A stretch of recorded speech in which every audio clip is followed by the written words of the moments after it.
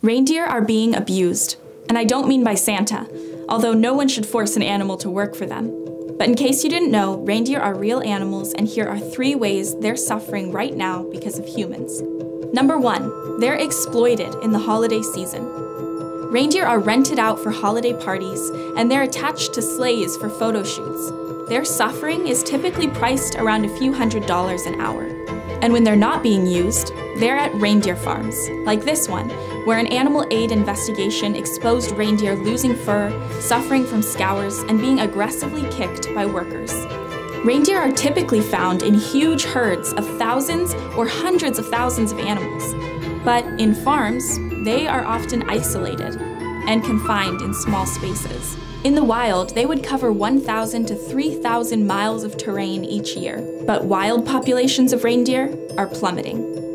And one of the reasons is hunting. Number two, reindeer hunting is on the rise. More and more people are hunting reindeer, including tourists and trophy hunters, as well as licensed commercial hunters. These wild animals are being turned into burgers, sausage, and jerky for the curious carnivore who wants to try a new kind of flesh.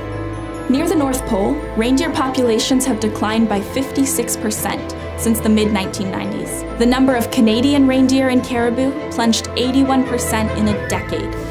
But overhunting isn't the main reason. That's climate change. Number three, rising global temperatures threaten reindeer populations. Not just reindeer, but also polar bears, penguins, and thousands of other species of animals. Higher summer temperatures have increased drought and forced reindeer to migrate earlier in the year to find food. Younger reindeer who can't make the long journey die along the way.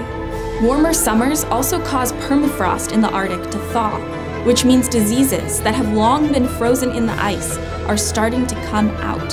In 2016, permafrost melt in northern Russia released anthrax, causing an outbreak that killed more than 2,000 reindeer, and more than 100,000 reindeer were subsequently killed in an effort to prevent the spread of the disease.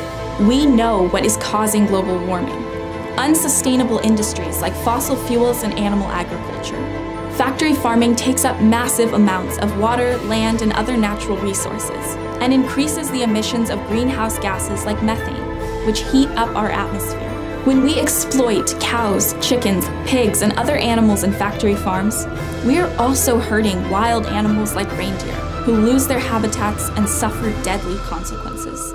But we can help protect reindeer, preserve natural environments, and prevent disease outbreaks if we simply shift away from animal agriculture.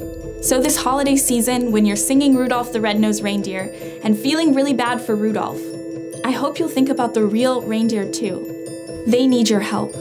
Please add your name to demand an end to factory farming at nomorefactoryfarms.com.